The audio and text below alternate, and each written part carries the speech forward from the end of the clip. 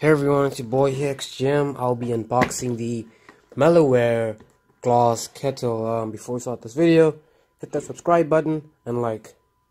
Say it again, Dexter.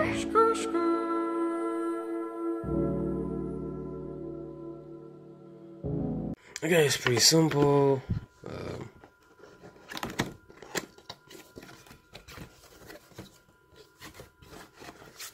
Okay, this is the manual, I presume, which we don't talk about, nor look at, nor think about, nor dream about.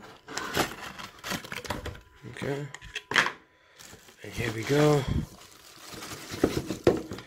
Big boy himself, glass kettle. This is your base where it generates heat from. Uh, nothing else as you can see inside the box. Okie dokie, let's remove this from its packaging. As you can see the bottom, that's actually a really beautiful glass kettle. Here's its base.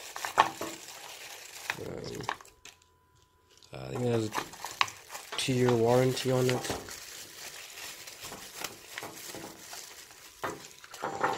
Okie dokie. I'll move this stuff and we will put you to use.